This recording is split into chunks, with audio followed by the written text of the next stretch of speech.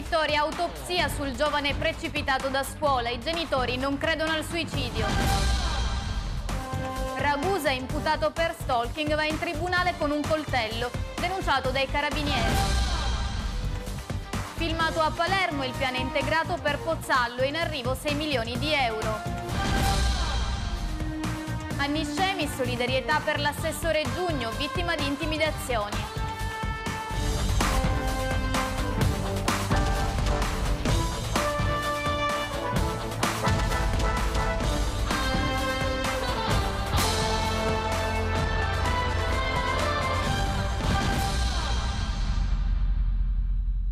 Bentrovati con l'informazione di Canale 74.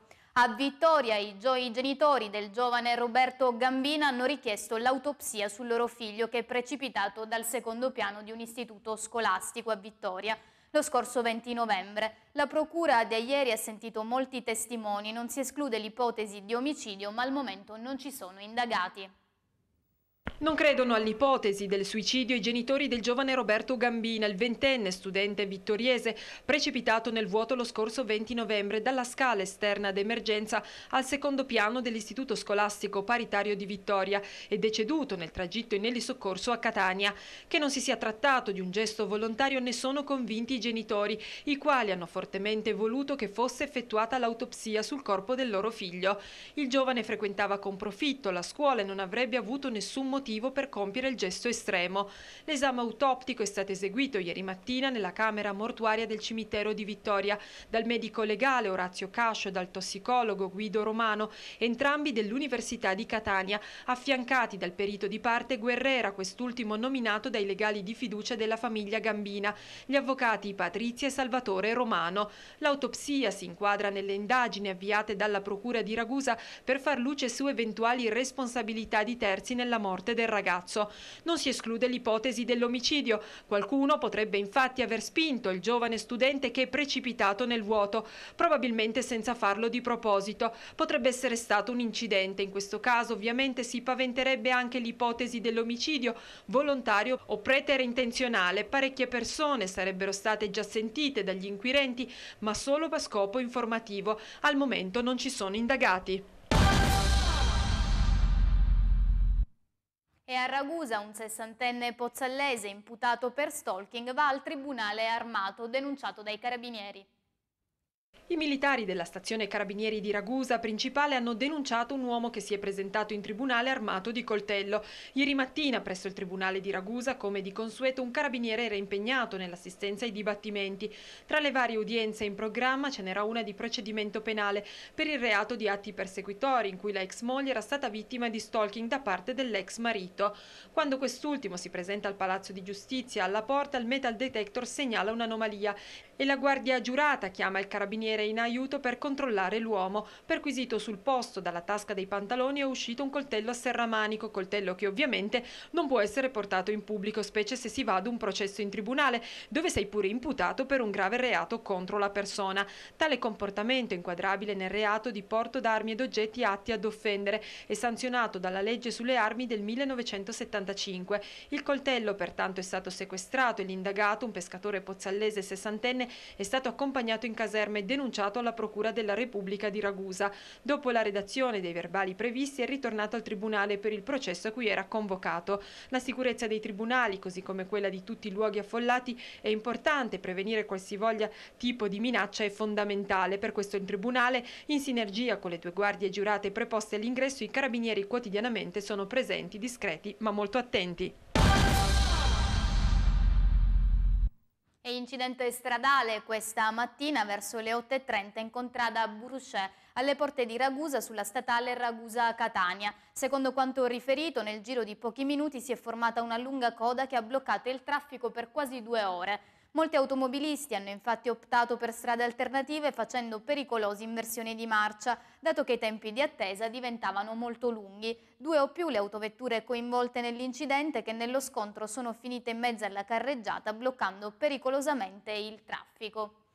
È firmato a Palermo il piano integrato del comune di Pozzallo, previsto un investimento di 6 milioni di euro per la realizzazione di 25 alloggi a canoni sostenibili pista ciclabile, campo di calcetto e riordino di Viale Europa. Un significativo passo in avanti è stato compiuto per il piano integrato del comune di Pozzallo. Dopo una serie di vicissitudini legate a tutta una serie di passaggi riguardanti la giustizia amministrativa, il piano integrato è stato firmato ieri a Palermo dal sindaco Luigi Ammatuna alla presenza dell'assessore regionale alle infrastrutture Giovanni Pistorio.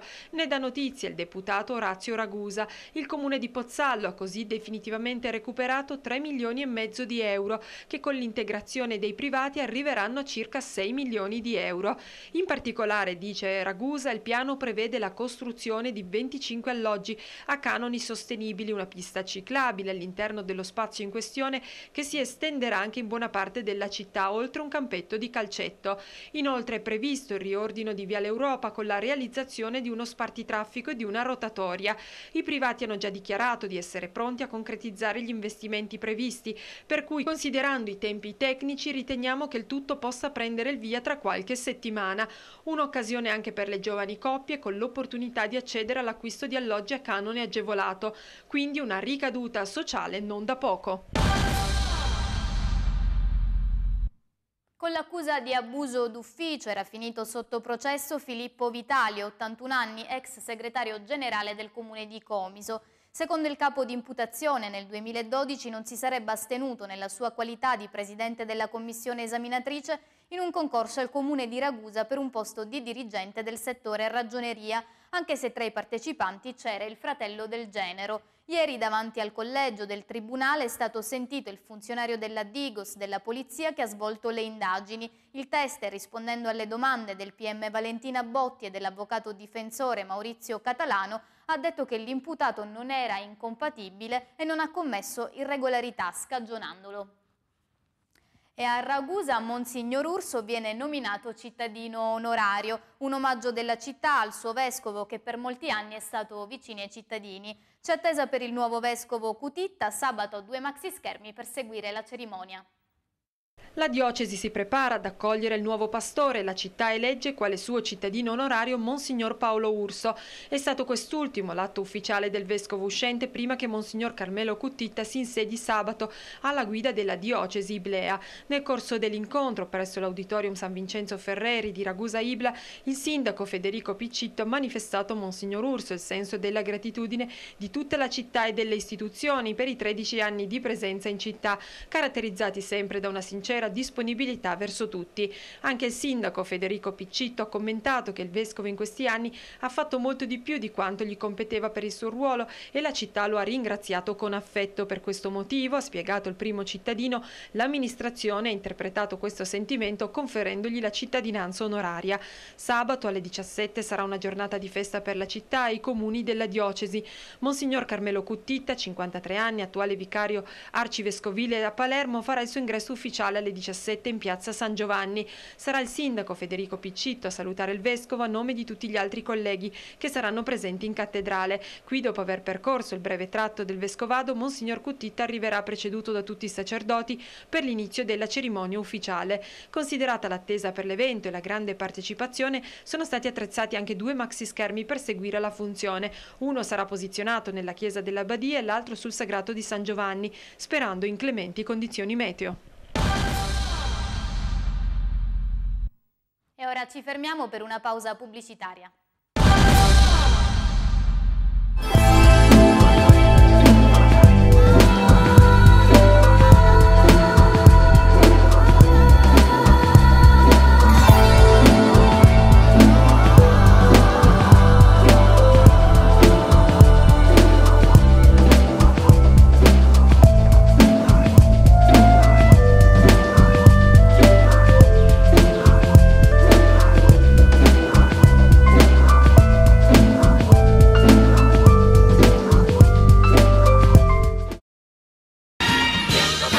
Pavingros vi augura buone feste con l'operazione Svuota Negozio, strepitosa strenna natalizia. Il vostro bagno completo di tutto a soli 499 euro, dal 29 novembre al 31 dicembre. 20 metri di piastrelle, sanitari, piatto doccia, rubinetteria completa, accessori bagno. Questo è il nostro modo di augurarvi buonissime feste con Pavingros, via Sorda San Pieri 238 a Modica. Flabline, fabbrica artigianale di lampadari. Da 40 anni personalizza i vostri sogni di luce. Produciamo creando a mano i nostri articoli.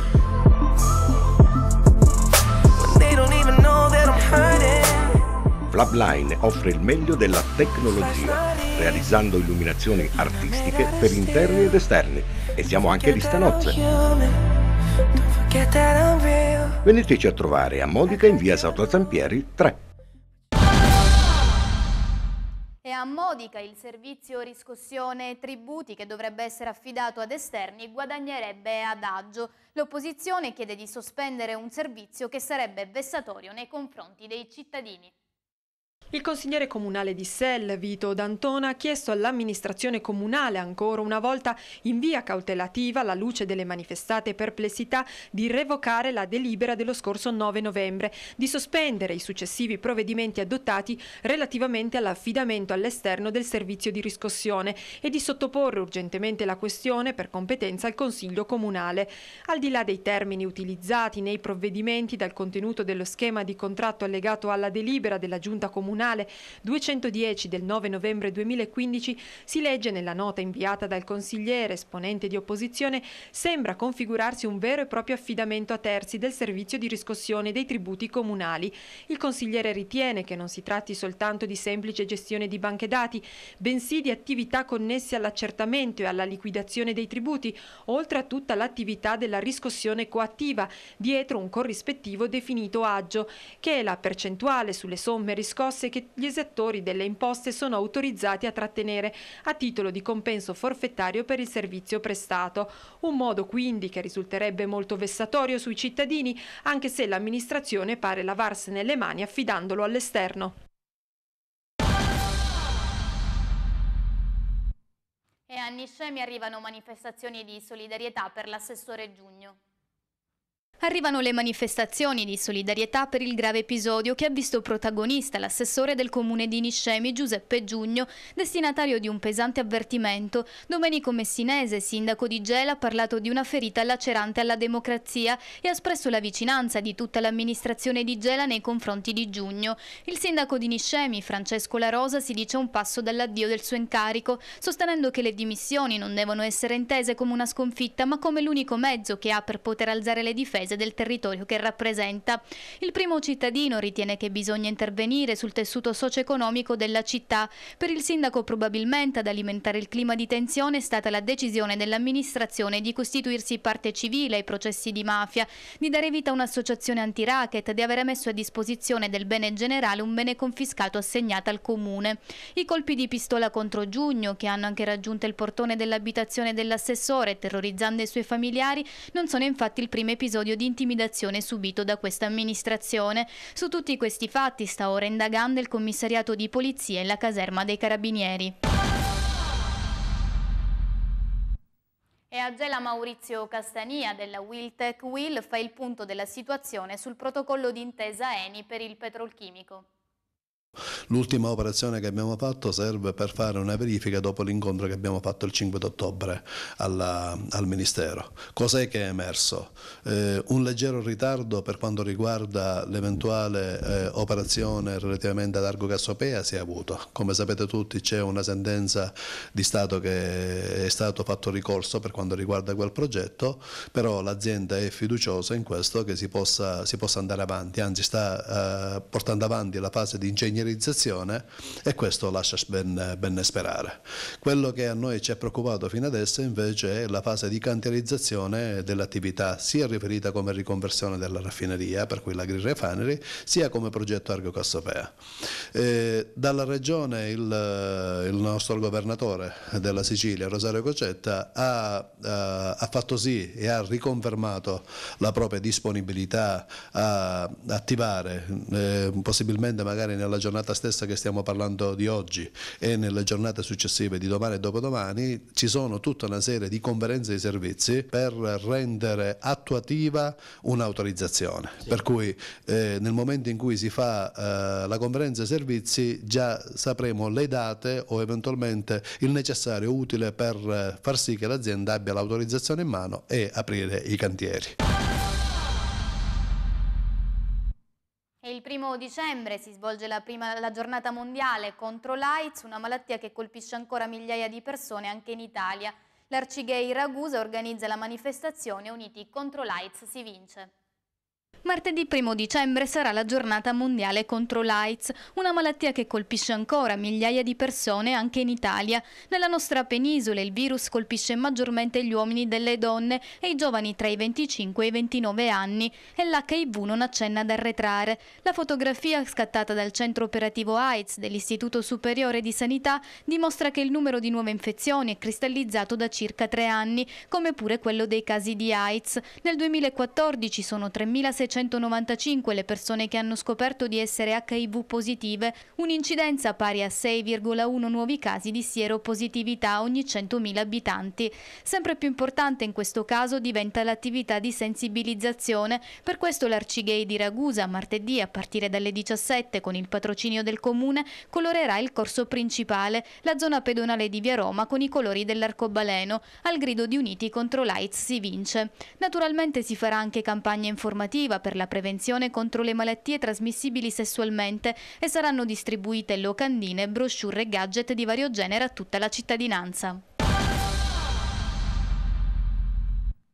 Bene, per oggi è tutto, io vi ringrazio per l'attenzione e arrivederci.